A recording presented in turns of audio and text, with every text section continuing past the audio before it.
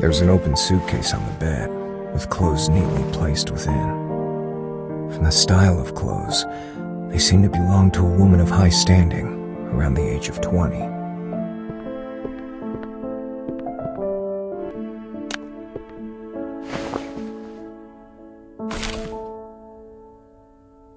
A picture of the little girl.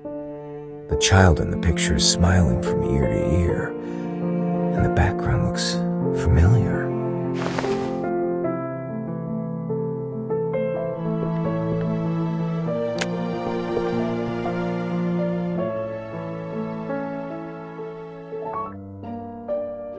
Today is circled on the calendar.